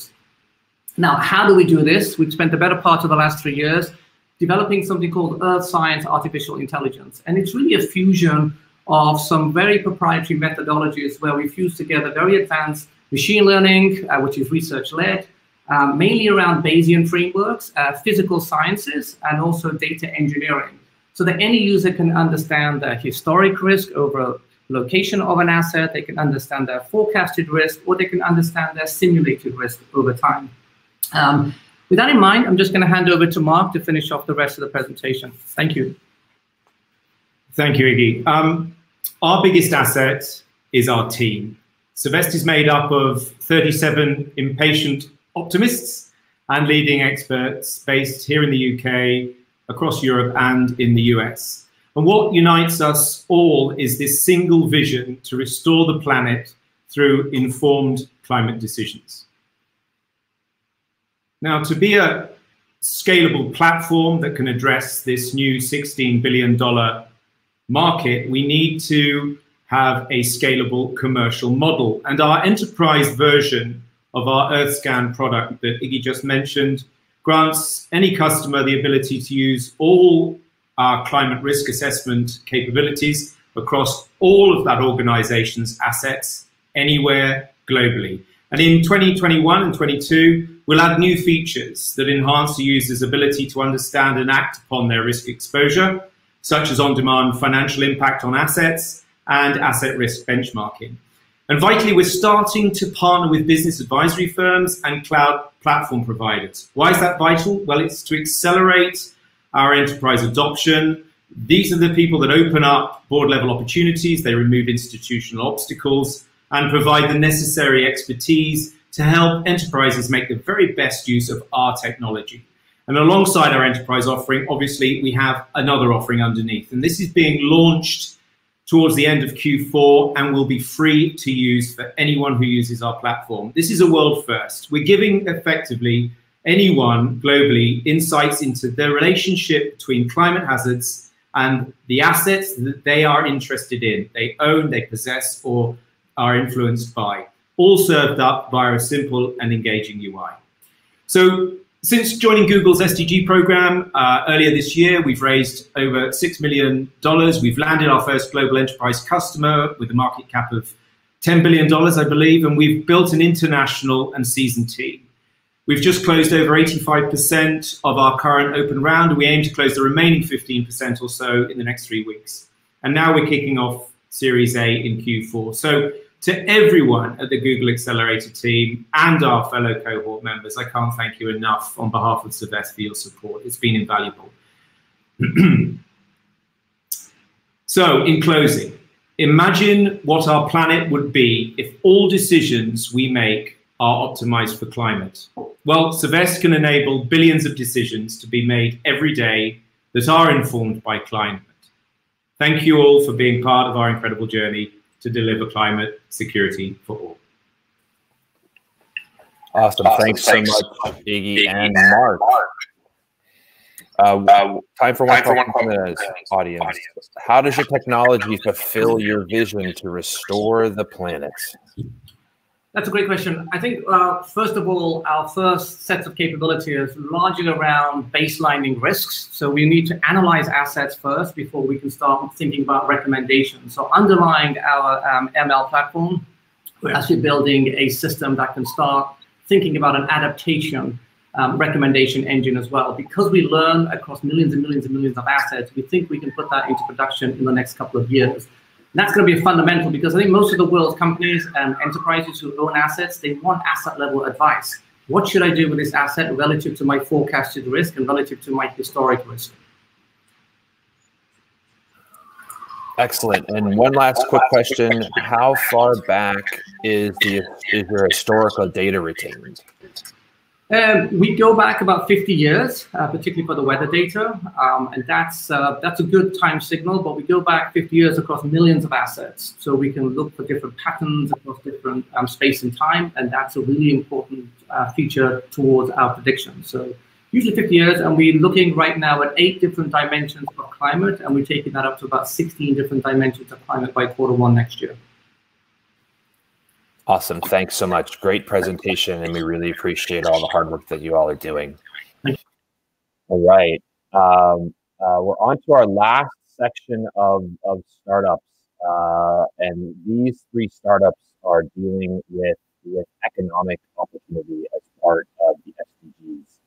Uh, so we would like to bring um, uh, Simon from Oko uh, to the stage. Uh, Simon, take it take it away, and please tell us all about Oko. Thank you, Jeremy, and thank you all for joining in. What if I told you that if it doesn't rain by the end of this week, you will lose all your income for the next six months? You would feel helpless, right? How is that fair? How is that a thing? Well, that is the situation for the everyday situation for 500 million families around the world who live from unirrigated farming. And this is exactly what happened to Sane, a farmer I met in Mali. Due to insufficient rain, Sane lost all his harvest for the year, all his income. He had to sell his, his remaining, remaining assets and start back from scratch. Oko has an insurance solution for all these unbanked smallholder farmers. We are talking here about 500 million small and medium businesses who can all spend a few tens of dollars every year in insurance. This translates into a $20 billion opportunity just waiting to be taken. This opportunity exists because traditional crop insurance was never designed for smallholder farmers. Sending an agent on site to verify the extent of the damages it's not scalable. On top of that, how do you bring insurance to someone like my friend Sane, who lives far from any city, has no bank account, and never received financial education? On the contrary, Oko offers an insurance that is fully automated, paperless, affordable, and accessible even if you don't have a bank account. All you need is to dial a short code to access our menu. In a few clicks, you can find your insurance details and pay your policy. And this works from any phone, even without internet connectivity. So how do we do that? It's very simple. First, farmers dial a short code to connect to Oko and receive a personalized quote based on their location, their crop, and their field size. Next, farmers pay a small premium via their phone to be covered.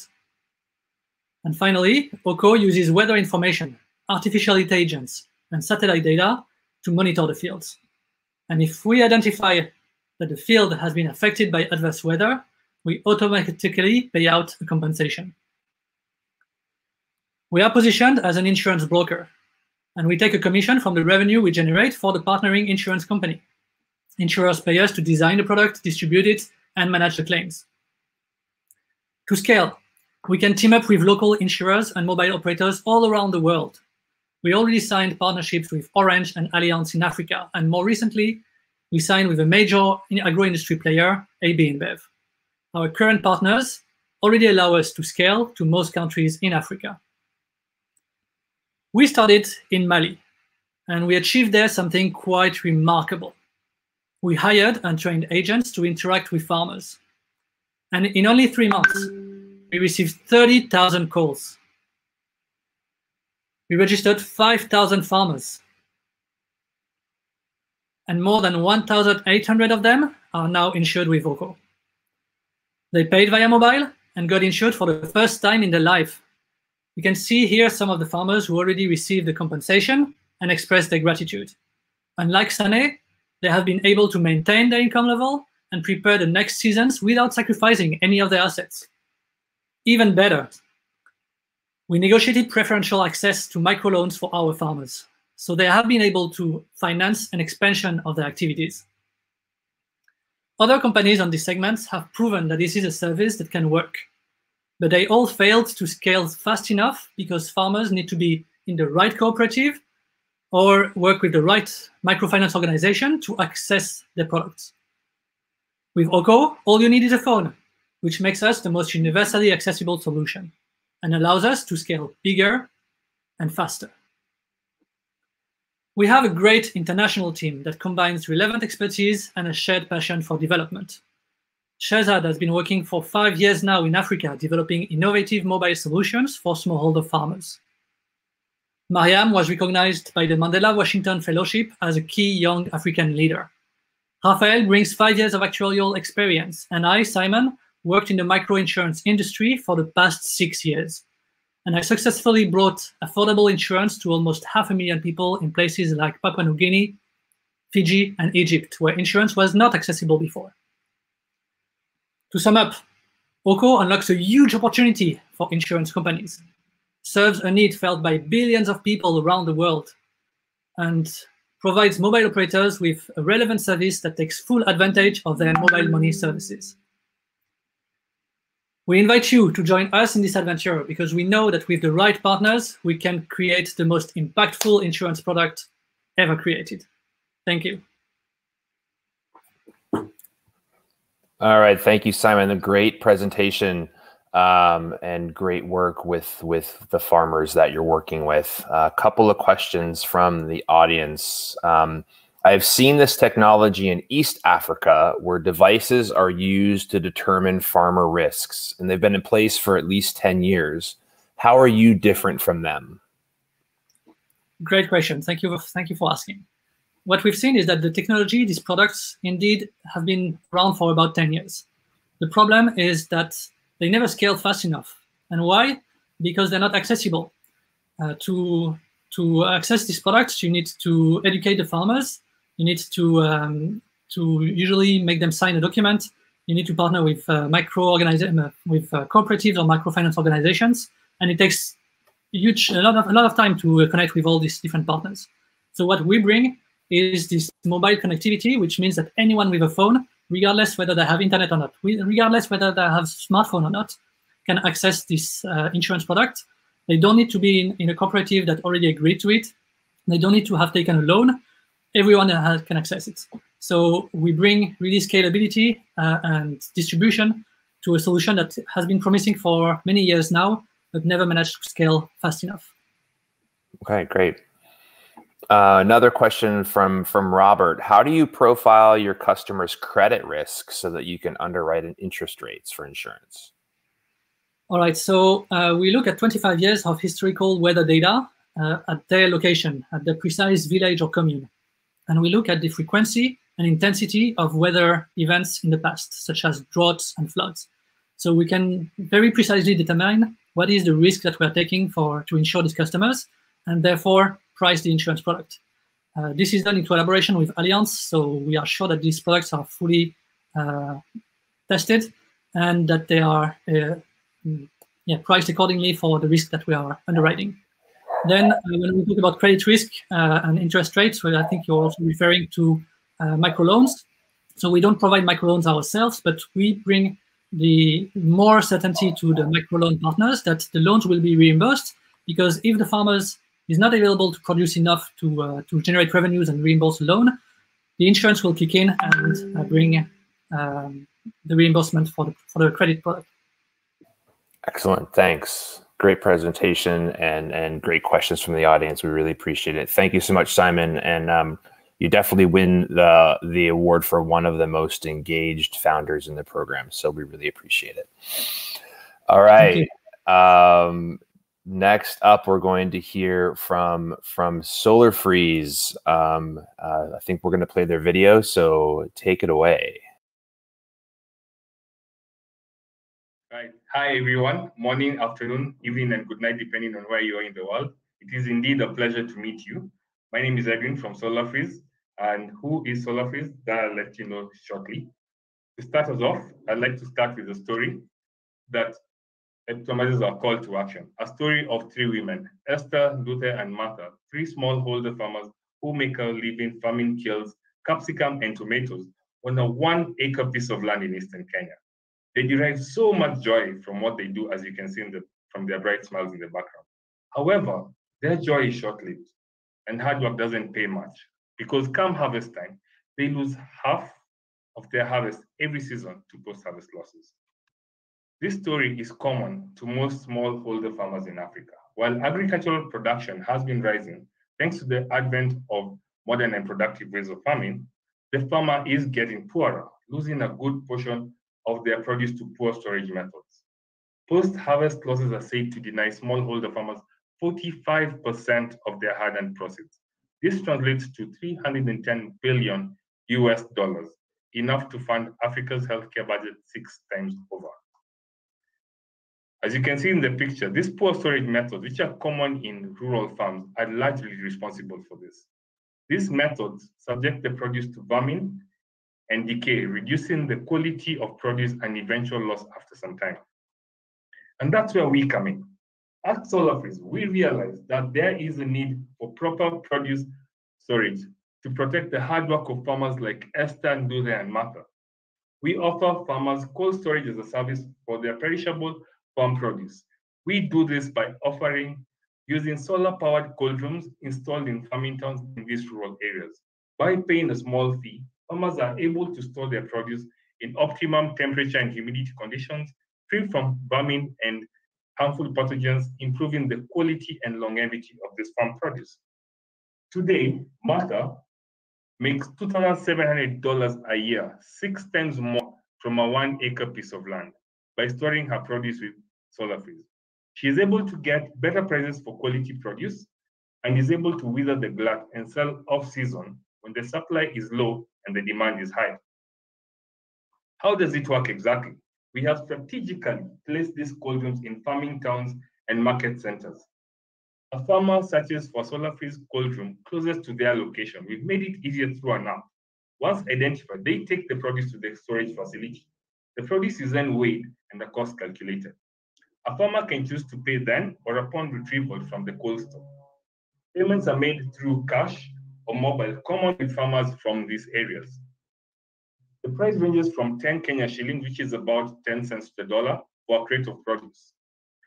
For farmers looking to own or acquire their own cold rooms, we provide small freezers that they can purchase on a pay-as-you-go model.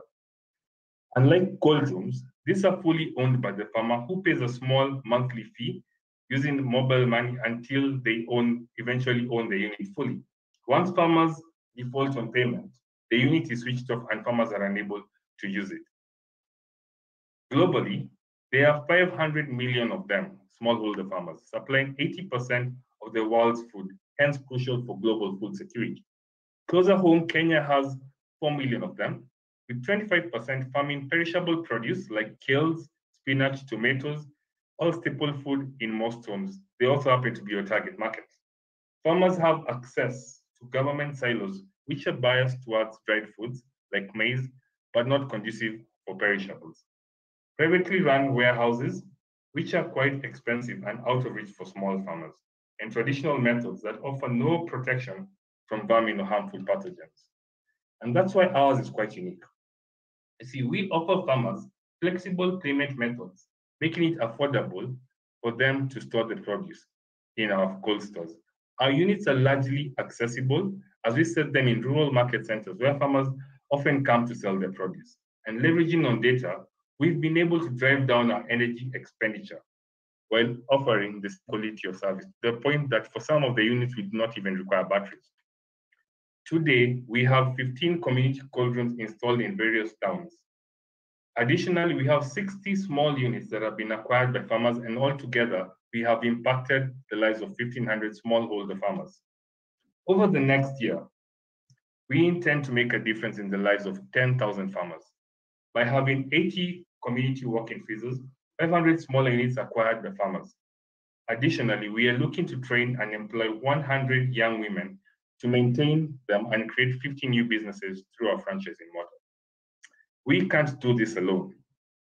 To achieve this, we have partnered and are continuing to partner with financial institutions to improve financial accessibility for these products, NGOs to get us to marginalized communities, and governments to offer advice and lobby farmers to embrace these solutions.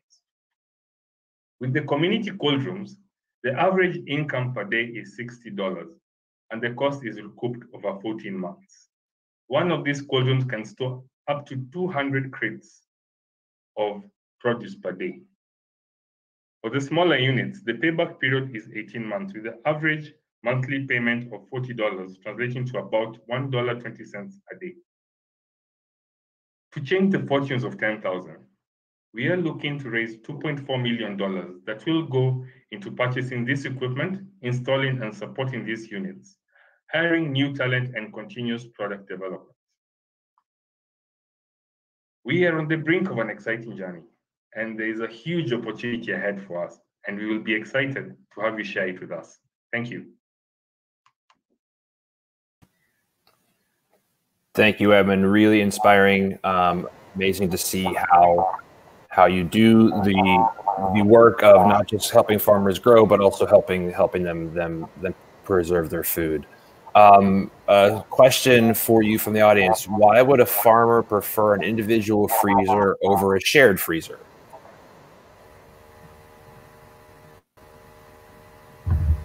Right. Um, I'll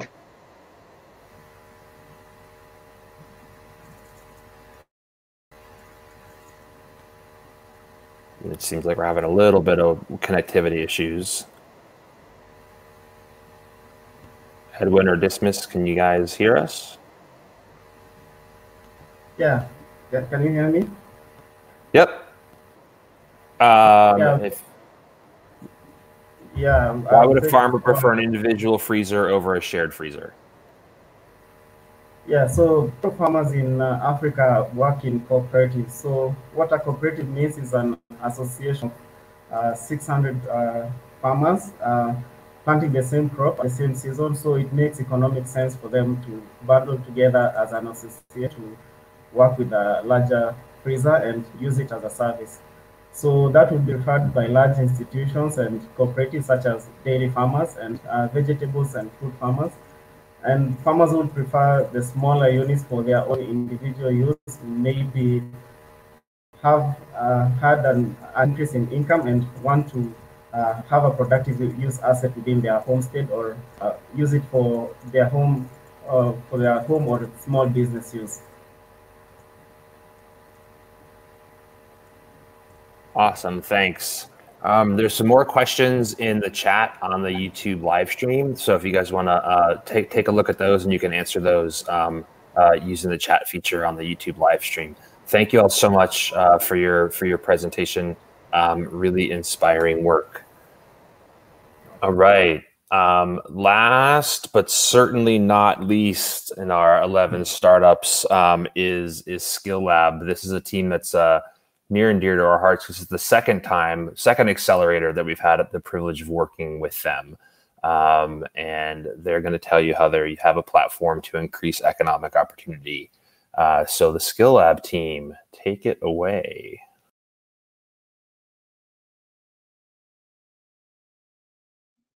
Hi, I'm Ulrich Schaaf, and today I have the pleasure to present to you SkillLab, our Amsterdam-based social business, and with it, our approach to skill-based career support.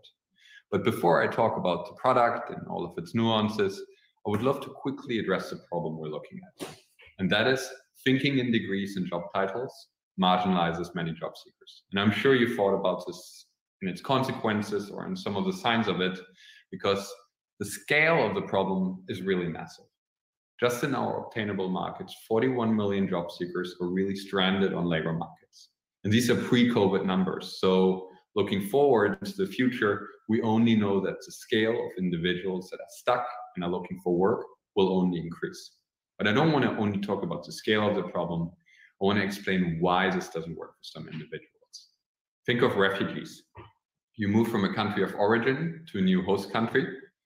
You try to find work, apply, work with career counselors, but all of your past job titles and degrees are pretty meaningless to new employers simply because they can't deal with them or deal with the language. As a result, you're often seen as low skilled. Think of displaced workers. You invested 30 years into a career or profession, worked in a factory, and due to automation, digitization, and other trends, you're now stuck with an obsolete job and you will have a hard time finding exactly the same job again. You need a new pathway forward that allows you to build on your skill set. And think of informal workers, namely, for example, your mother. Most likely, she had to give up or make sacrifices in her professional career in order to raise you and your family. On paper, she didn't do anything in a job related manner, but obviously, she picked up many very valuable skills. What all of these groups and many others have in common is that traditional labor market thinking of degrees, titles, and anything you put on a resume simply doesn't work for them or creates a clear pathway forward. And that's where our approach comes in. So we think in skills and not in titles. And what you see here is our TensorFlow model of our AI, which we train to understand the labor market and people and education on the level of skills and not on the level of titles.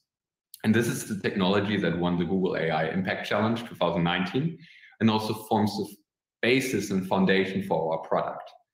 And that is a digital career assistant that allows job seekers and any individual to find a pathway forward. The way this works is that you first go through a very detailed interview in up to 27 different languages with our AI, where we capture amongst 13,500 different unique skills what you exactly did in your life. And then we can match that skill set to every single occupational career that's out there. As a result, on one glance, you get an understanding of what's possible and what you could do with your skill set. If you're interested in a specific occupational career, you can dive deep in, generate application materials, or look at your personal skill gap and find recommended online as well as local education that helps you to upskill yourself and make yourself more employable for the jobs you're really interested in. And while I just explained here a B2C value proposition, our market is actually a little bit more complex. We sell to employment services and training providers. So these can be governments or private organizations. And we sell to them large bundles of skill assessment licenses to our tool, which they then can distribute to job seekers. In return, they get a very, very detailed understanding of the skill profile of any job seeker they serve and can help them to be quicker and better in placing them into jobs and education. That saves them a lot of money. Job seekers, for free, receive through our digital tool career advice and support in being empowered and looking for jobs for themselves. And training providers uh, can easily market courses to the skill gap of job seekers. All of this and this environment allowed SkillLab to bootstrap in the last two and a half years and build a substantive business. And we're now at that point where we'll ask for a 2 million euro investment. That money will mostly go into the product. So, so far, we built for an alpha and beta stage a great starting product, but we want to expand on that. We also built a client base and a great team. But now we want to move forward and by the end of 2022, reach 1.3 million job seekers. That will be roughly also the point where we're either profitable or more likely look for a substantive Series A investment round. Thank you. Okay, thank you, SkillLab. And again, it was an absolute pleasure to work with you a second time around. Um, a question from the audience. Hi, Kareem. Thanks for for joining us. Um, what is your sorry how is your ai learning and developing over time thank you very much jeremy for that question so uh, as a foundation our ai builds upon nationally regionally and internationally recognized skills taxonomies and uses those as a basis for performing a personalized interview and generating a detailed skill profile for a person as we grow and reach more and more users uh, we're able to collect more and more information and data on what skills they bring to the table based on their past experiences. And each data point that we collect in terms of what skills a person has received at various experiences, the smarter our AI becomes and the more uh, highly trained it becomes in terms of understanding how different skills relate to each other. And effectively, what that means for a person at the end of the day is as we increasingly rely on user generated data, our model really reflects the on the ground realities of what skills people actually have and becomes more effective and more efficient at targeting which skills to ask them about. So that makes the process of interviewing someone and zeroing in on their unique uh, and very personal skill set that much faster, that much easier, and ultimately leads to a skill profile that's generated that increasingly reflects the user and has the user fe feeling that their entire world experience is reflected in the profiles that we build for them.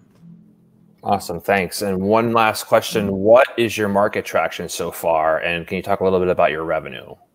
Sure. So in terms of market traction before revenue, um, currently at this stage in 2020, uh, where uh, we have 13 active clients across four different continents and 12 different countries.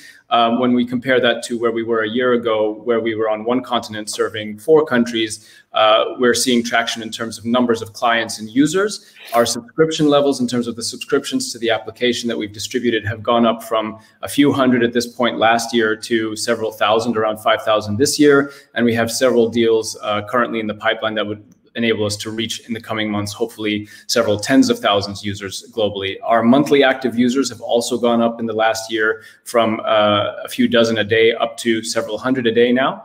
And in terms of revenue and how that's reflected in revenue, uh, this year alone, we've been able to generate 220,000 euros in revenue, in contract-based revenue. That's entirely excluding grant uh, money. With grant, direct grant uh, financing, we've also been able to reach uh, a total amount of income of about 100, uh, sorry, 1.5 million dollars over the last year and a half. Um, and this, um, uh, by for point of reference, uh, 160 out of the 220,000 euros in revenue are all from 2020. Um, in addition to that, uh, speaking again about the pipeline, the sales pipeline that we currently have, um, we're looking at the potential of raising in contract value alone $100 million uh, in the coming months, uh, excluding grant applications for which we have in the pipeline $2 million uh, currently. Awesome. Thank you so much. We really appreciate the presentation. And again, it was great working with you all a second time around. Thank you. All right. Well, folks, we have reached the end. Um, uh, thank you to the 400 plus Googlers, partners, investors, NGOs, and others who have joined us today. You can see uh, at the bottom of the screen there, we'd love to hear how we did, both us as a team and, of course, the startups. So there's a, a link for a very short feedback survey. Uh, we like to say here at Google that feedback is a gift. So uh, please tell us how we did. And a very quick thank you uh, to Andy Watts, our man behind the scenes, who's made all the technical magic happen. Uh, I just want to say say briefly, um, you know, when we were planning this program, we were all set to gather all the startups and mentors and facilitators in, in Berlin to gather together for for a big kickoff for this accelerator. And then, as we all know, the world changed forever very quickly, and we had to make a quick decision on if we would continue the program. So we decided to pivot to this virtual uh, uh, program, uh, something that we quite frankly have never done before. And so we somewhat apologetically uh, told the startups our plan, feeling that uh, feeling pretty bad that we cannot uh, deliver on our promise for an in-person accelerator. When we told the startups this, we got some really interesting and we're really pleasantly surprised by, by, by the feedback. They said, hey, you know, thank you for not canceling the program and thank you for not abandoning us. So uh, what I want to do is sort of turn that thanks around to all of the startups. Uh, WonderTree, MDoc, Flare, Apic, Ellipsis, OroraTech, Ever Impact, Oko, SolarFreeze, and SkillLab, thank you for not abandoning us. And by us, I really mean everyone, by the whole world. Um, thanks for not abandoning hope. Thanks for not abandoning bravery. Thank you for being uh, impatient optimists.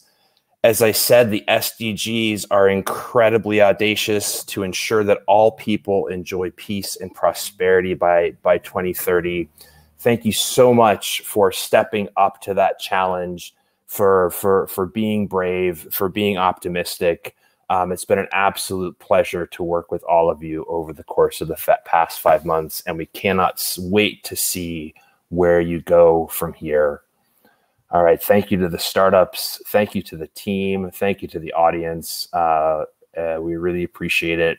And please go out there, take care of each other, and find your own little way, as these startups have done, and maybe a big way to to make the world a little bit better place. Thanks.